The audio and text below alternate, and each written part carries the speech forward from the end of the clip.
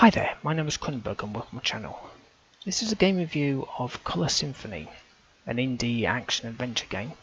The developer and publisher is REMIMORY, R-E-M-I-M-O-R-Y. Came out in 2014, it's got mostly positive reviews and it's currently free on Steam, but I did pay for it. Uh, single player and controller support for Windows XP onwards. Color Symphony is a game program utilizing the human recognition ability and visual senses, and various colors are used to play the game by changing colors to disrupt the cognition or strengthen the cognition. So I played about an hour and a half of it. I lost the will to live. Um, watching the Steam video, strange enough, actually gave me the clue on how to get through one of my the puzzles I was completely stuck on. But then after that, I just I just gave up a game. So on the left hand side, you can see three colors: the blue, the green and the, the cream. So you change those based on what's in the background or what you want to disappear. So if you have a creature that's uh, beige coming towards you like a little um, uh, bird, you want to change the background to cream, which will get rid of the cream bird. Um, and then you would you'd have to keep changing this to go through to the other other bits. Um, there is a, a V button. Now it took me a while to figure out it's only useful when you have um, three things you need to change instantly, like um, the, the what do you call it? The um, the the wheel of these cog wheels coming down. You you could change the order of when they come out by pressing this V button. I was trying it ages ago because what it does is it takes out most of your health to do this.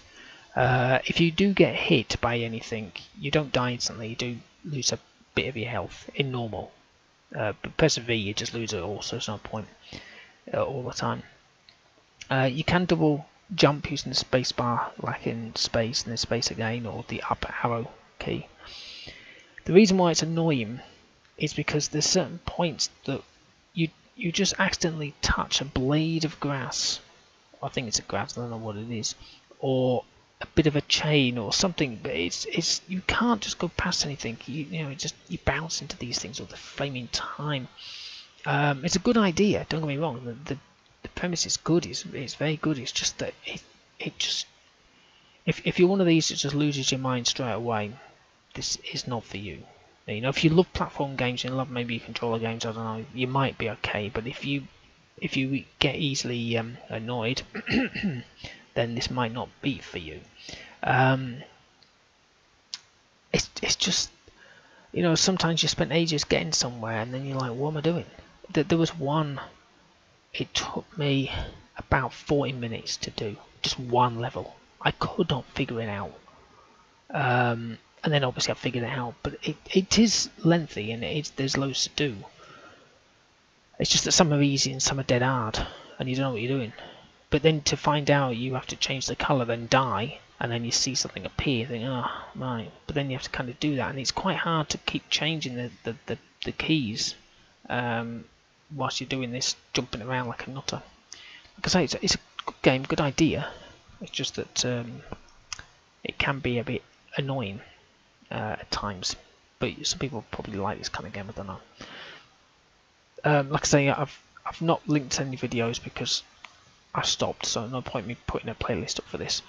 Um, but uh, yeah, if you like this kind of thing, you might enjoy it. Some people rate it. If you read the reviews, some people say it's it's bad. Um, it's just the fact that you just die constantly. Um, but yeah, it's it's just just annoying after a while.